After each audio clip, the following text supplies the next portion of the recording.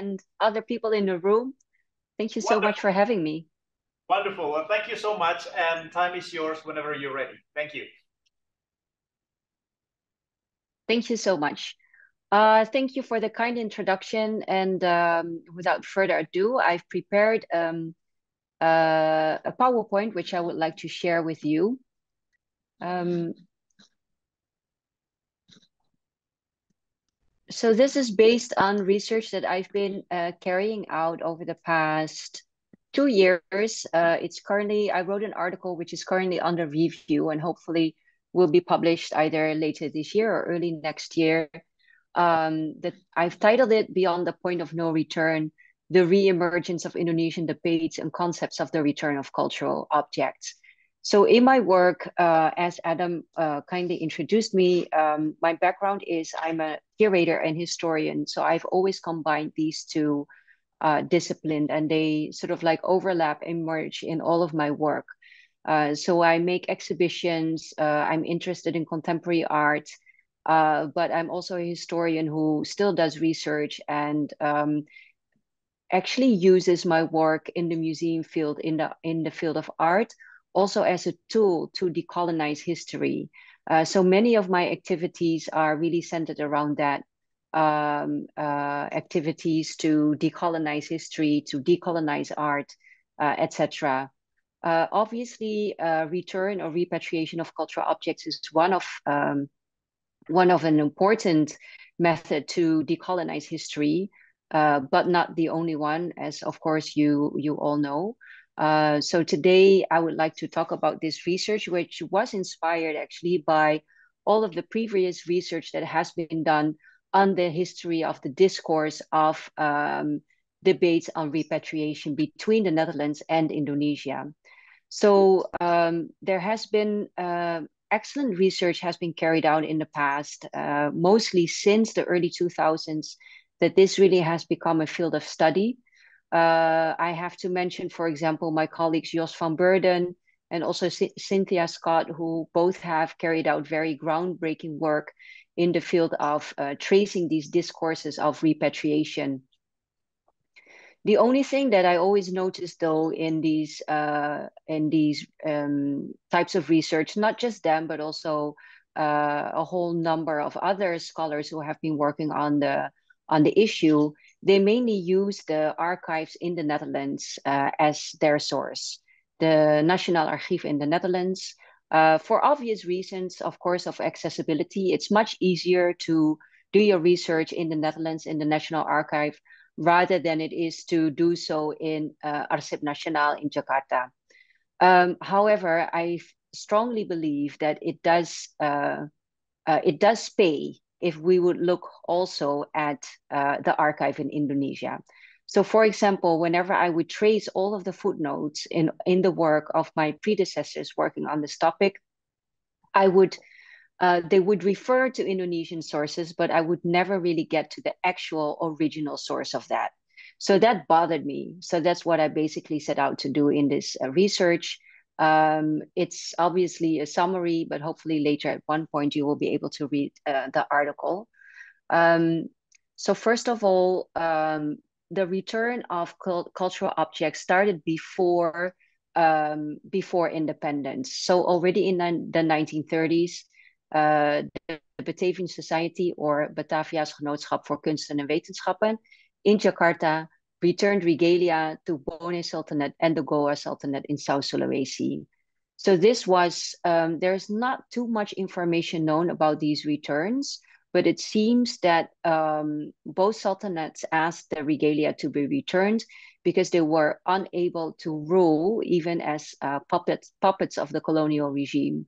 And that was the reason why the Batavian Society de decided to actually return uh, the regalia to the former owners. But the main moment for uh, restitution or repatriation was 1949 during the Roundtable Conference in The Hague in the Netherlands. Uh, so this is a well-known fact. There was a draft culture agreement reached during the Roundtable Conference. There were two cultural committees set up, a Dutch one and uh, an Indonesian one, which merged uh, the, the Republic as well as the uh, independent states uh, united under the BFO. So they acted as one front in these negotiations about a draft culture agreement. So what at the what actually was not known uh, was who actually put the issue of return on the political agenda. So there are sources in the Netherlands that point mostly to, uh, obviously, to Dutch sources, but I um, managed to retrieve archival materials in Arsip Nasional. So that is what we see here um, in the English uh, report of the meeting that you see here on the left. Uh, we see a draft, a draft of the draft culture agreement. Uh, so in clause two, we see um, in connection with the transfer of assets and liabilities to the Republic of United Indonesia as a consequence of the transfer of sovereignty, the de delegation jointly take the position that transfer must take place of A, all material assets, educational establishments, scientific institutions, and institutions of art in Indonesia. So this is basically the main, uh, the main clause. But if we don't know the Indonesian translation, we wouldn't know what it means. Material assets can refer to anything. It doesn't necessarily have to refer to cultural objects. It can, as it does in the rest of the sentence, refer to edu educational institutions, scientific institutions, etc., etc. But uh, luckily, um, I found material in uh, ANRI where it becomes clear what was actually meant on the Indonesian side. So here we see in clause two, uh, that material assets was translated from harta benda. So this is a very clear indication that was what was meant with material assets is actually cultural objects. What we also see here is actually, uh, we see here also a note of the date. So um, we see scribbled here 5 September 1949. So this was very early on in the negotiations that this point was already brought up in the discussions with the Netherlands. So I will keep it short because there's more that I would like to share with you.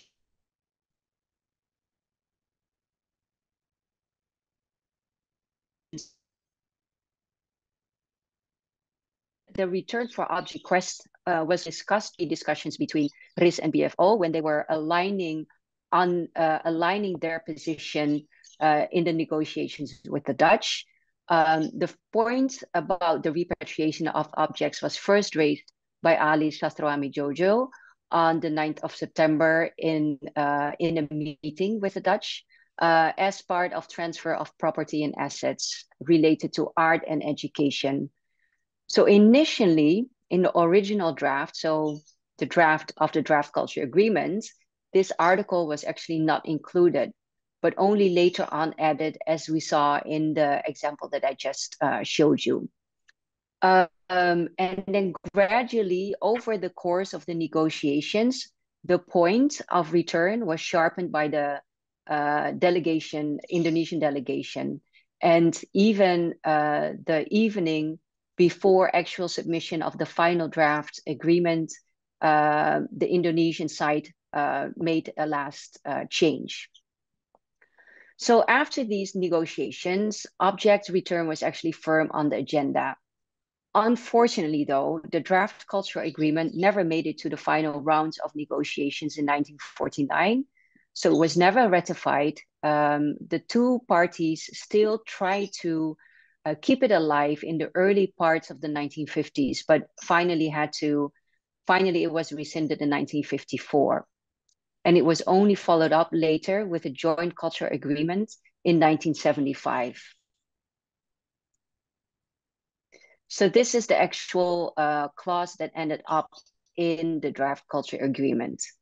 Article 19 stipulates objects of cultural value originating from Indonesia and which have come into the possession of the Netherlands government or of the former Netherlands Indies government otherwise than by reason of private law shall be transferred to the government of the Republic of the United States of Indonesia in consequence of the transfer of sovereignty from the Kingdom of the Netherlands to the Republic of the United States of Indonesia. So this is a very clear indication that this was important to Indonesia, that cultural objects would be returned to uh, the country of their origin. Um, so I'm showing you here a text that my uh, research assistant Sukiyato Kurniawan, also here uh, attending today, found just actually uh, last week or even this weekend uh, about uh, how the cultural draft agreement sort of like, or the request for cultural objects continue to be a point of discussions already uh, in the early 50s. So in 1955, Mohammed Yamin already asked back for uh, the fossils of uh, uh, the first find of Homo erectus fossils, uh, credited to uh, Dubois. Um, these fossils are better known as Java man. You see them here on the right-hand side.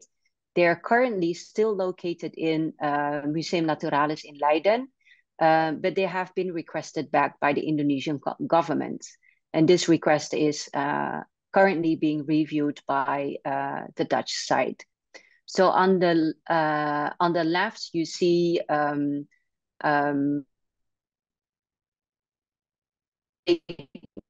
of uh, of uh, Erectus for the history and science of Indonesia. So uh, these discussions about repatriation mostly, um, uh, there's not a lot of archival material uh, for the period of 1950s, 1960s that I have, have found uh, so far. Um, but we know from uh, media reports that the that there were still uh, that the return of cultural objects was still important for Indonesia. Um, Indonesia would not let go of that. So finally, in 1975, a joint cultural uh, recommendation was reached between uh, the Netherlands and Indonesia. Um, so here we read, for example, the two delegations recognize that specific objects and specimens which are directly linked with persons of major historical and cultural importance or with crucial historical events in Indonesia should be transferred to the country of origin. So as a result of these joint recommendations, a number of collections and objects were returned to Indonesia. Uh, among them are these. Uh, in 1977, uh, a number of objects came back, amongst which uh, a painting by uh, the famous painter Raden Saleh, uh, which depicts the arrest of Diponegoro, dated 1856 uh, or also part of the Lombok collection uh, in the Netherlands, known as the Lombok Treasure, was returned, um, and as well as a few other objects in relation to um, Diponegoro, the saddle of his horse, um, his umbrella, and his spear. Um, and then also on the right, we see uh, Prajnaparamita, uh, a Singosari statue, which was uh, returned in 1978. So internationally, uh, for example, also uh, UNESCO, the return of these objects have been hailed as a successful case for re of repatriation. Um, but I would argue that it it looks successful if we look at the things that are that were being returned um, but maybe it's not so successful if we think about all the objects that didn't go back but were actually requested and discussed. For example, the whole Lombok collection uh, was not returned. Only part of that, and even a small, the smaller part of the collection was returned. Uh, also, not all of uh, objects were returned. For example, the, his kris was not returned yet. Uh, the statues of Singosari Temple, uh, only Prajnaparamita came back, but there are actually seven other objects in uh, the Netherlands at the time. Um, not even mentioning that there are actually hundreds of thousands of objects in the Netherlands taken from Indonesia, and that's in the Netherlands alone. We also know uh, the famous Raffles collection in the British Museum, of course, and across Europe, Quai Branly, uh, the World Museum in Vienna, and uh, of course, many other museums have objects from Indonesia.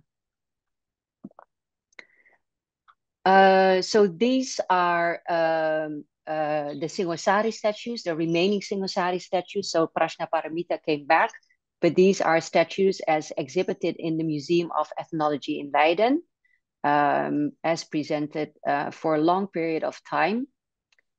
Um, and over the past, I would say, decade, restitution methods really have gained momentum, and especially, I think, over the past, uh, I would say, three years, um, that uh, repatriation uh, methods really have become very important, not just in the Netherlands, but also in Indonesia. Um, so we see that in 2019, uh, a collection of Museum Nusantara in Delft was returned. Uh, and then in 2020, also the Kris of Dip Prince Diponegoro was finally re finally returned after having been lost for 200 years in the storage spaces of the Museum of Ethnology in Leiden. Um, I must say that uh, the Netherlands has worked quite hard to uh, to move in this respect. So, uh, an independent advisory committee on the national policy uh, no, developed a national policy framework for colonial co collections, which we see here on the left, um, uh, which um, advised the Dutch government for a more proactive approach looking into their collections and also a more proactive approach towards the return and repatriation of collections. Um, so, and on the right hand side, you see um, a uh, the final report of the pilot project uh, provenance research on objects of the colonial uh, of colonial objects collected in colonial context, which was also uh, aimed at advising policymakers about colonial collections in the Netherlands. Meanwhile, uh, the uh, advice uh, for colonial collections has been ratified in the Netherlands. So it's now official government policy since, uh, if I'm not mistaken, last year. So this is now government policy that really takes a proactive approach to the return of, uh, of objects. Meanwhile, in Indonesia in 2021, uh, Indonesia was proactive as well and set up uh, a repatriation team uh, for uh, collections um, from Indonesia in the Netherlands. So the mandate only concerns uh, Indonesia. Uh, this repatriation team is set up under the Ministry for Culture, for Education, Culture, Research, and Technology, and falls under the responsibility of the Directorate of Culture. Um, so already in 2021, this repatriation team was in place, uh, and um, later or later I will get back to uh, what happened with like a Dutch uh, repatriation team. Um, so um, there is now actually a G2G mechanism because the policy has been, the advice has been turned into a real policy. Uh, there was already uh, the repatriation team on the Indonesian side. So this there is a proper G2G mechanism in place that really provides unprecedented opportunities for return. Um, we also need to uh, take into account that this mechanism is a G2G one. So there is no mechanism in place yet for the return of objects to subnational or source communities. Uh, for example, on the regional level or level or um, uh, yeah, source communities. Um, it does create a lot of uh, pot um, potentialities for agency to be able to create and recreate meanings for lost heritage. Um, we also take into account that return is not the only solution, but research uh, and knowledge development is also very crucial. The physical return is not the only solution, but like really uh, generating new knowledge about objects in the Netherlands and also access is very important in uh, the process of repatriation. Um, I would also say that even despite the that there is no mechanism in place for return on the regional or subnational levels, um, it is at the same time also an opportunity to sort of circumvent bureaucratic national mechanisms. Uh, regional museums could still reach out to uh, museums uh, in the Netherlands that would have a private collection or a regional collection or other collections that do not fall under the national collections. So, uh, so the G2G mechanism is uh, currently the dominant mechanism, but it's certainly not the only way uh, to get objects back.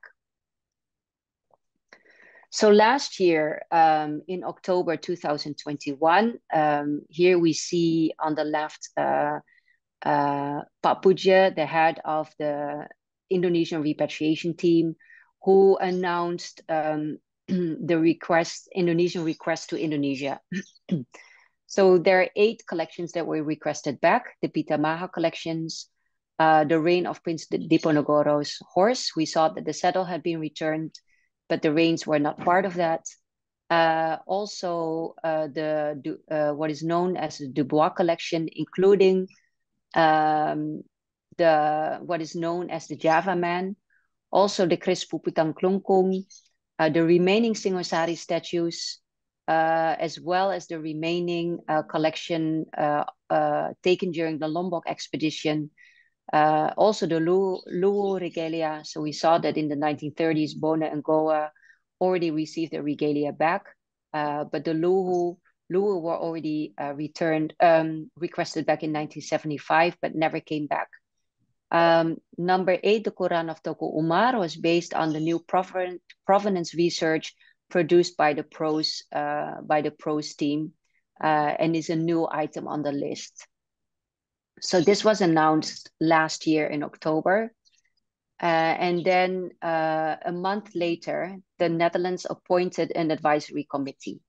Um, so uh, under the chairman uh, chairmanship of Lilian Gonçalves-Ho Kang You.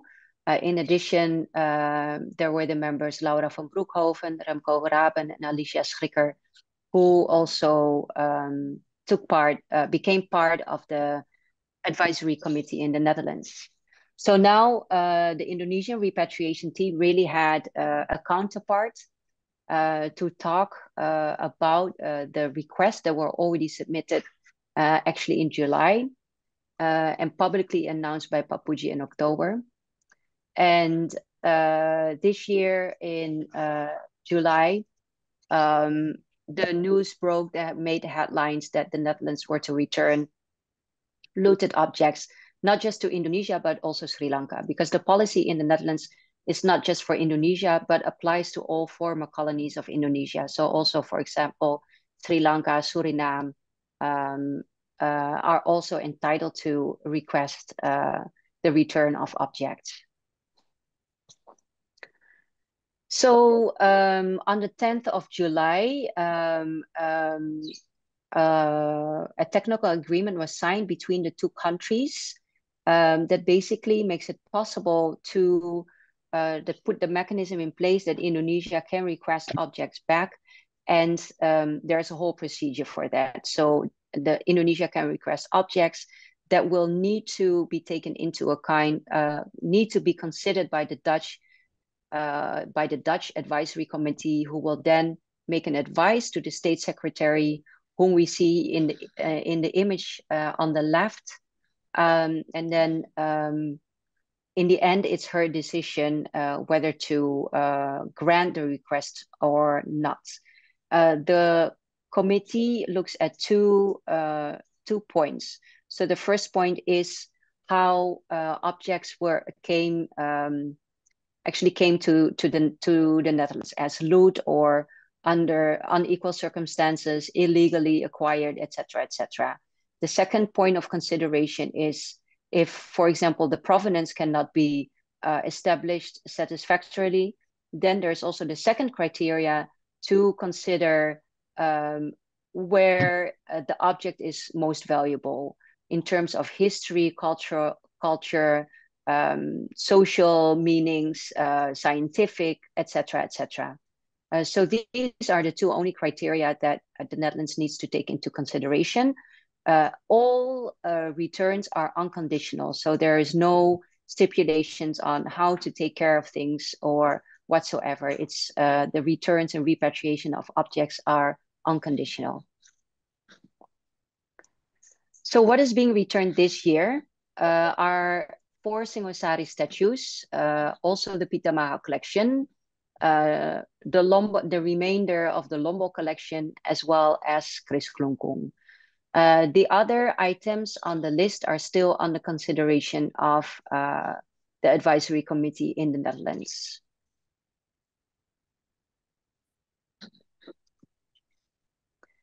So uh, here we see the result of that. Uh, just last August, I was part of a team that um, uh, that traveled to the Netherlands to uh, prepare the transport of the four Singosari statues, which we see here in their previous condition on the left. Uh, after the signing of the transfer on the 10th of July, the statues were removed, and on the right, you see the result of that. So the museum left uh, the exhibition intact for now. The red labels were the former exhibition texts uh, explaining the objects, and now uh, they added another text uh, in the black label, uh, which explains that um, these objects have now been transferred and returned uh, to Indonesia. So um, after the transport, after we arranged the transport, the Singosari statues arrived safely in Indonesia, and they uh, and there was a special event to sort of like a meet and greet with the Arca with the statues uh, on the 22nd of August, um, just last month. And this is a video that I would like to share uh, with you as a last um, as as my last slide, with a message from the minister.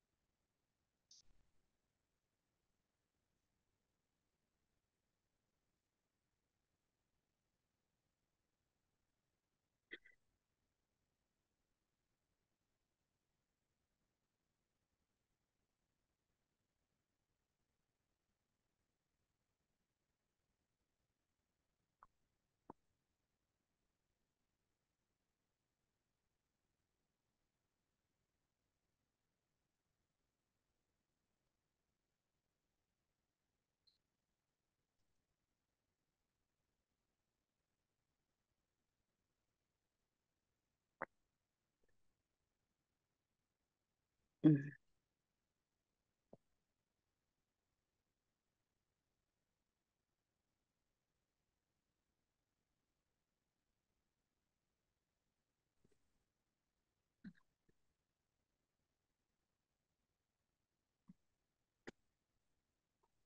So this is what I prepared for you today and wanted to share maybe as a last uh, note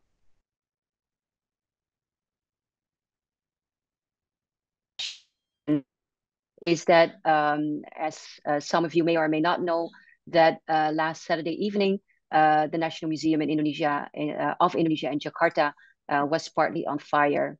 Um, so this is very, very sad and tragic news, but um, we are very happy that the four statues, the four Singosari statues, uh, are safe. the museum consists of three buildings uh, one of which and only the the part at the at the back was on fire, and luckily uh, the statues that came back uh, remained unaffected. Um, so thank you so much for your attention, and I'm happy to uh, answer any of your questions or comments. Thank you very much, Sadiah.